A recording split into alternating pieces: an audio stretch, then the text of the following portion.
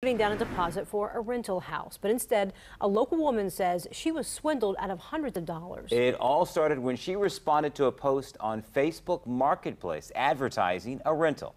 News 3's Anthony Sabella spoke with the woman. Now, Anthony, how did she end up losing the money? Well, Bevan Kurt, Heather Valdez tells me that the Norfolk home she was looking at was within walking distance of the beach and a steal at just $600 a month. Turns out, she says the woman she sent the deposit money to didn't actually own the house.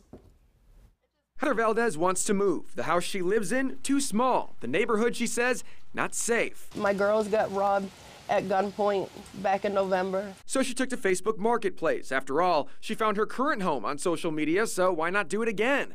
Last week, she found this. It looked like a good deal. I messaged the person and asked them, was it still available?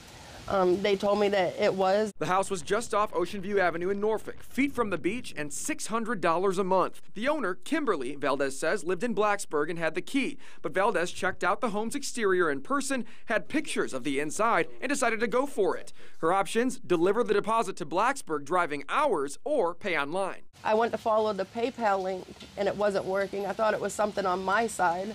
So the person said for other tenants that they use a MoneyPak card that's refillable. Valdez says she sent $500 and was told to meet at the home for the keys and a lease signing. I went there and found out the the real owner didn't know anything about the house being for rent. It's not for rent, it's for sale and didn't even know what I was talking about. Valdez says police told her she was swindled. Couldn't believe that I fell for it. Local real estate broker Tim Gifford says these cases aren't new. He says people looking to rent should see the inside of the home first and be prepared to answer some questions. Credit checks, You've got to fill out an application. There's a process you have to go through. Valdez says she sees the red flags now. Attempts to reach Kimberly no longer go through. Her message? Just pay attention to who you're talking to. Make sure you meet that person face to face.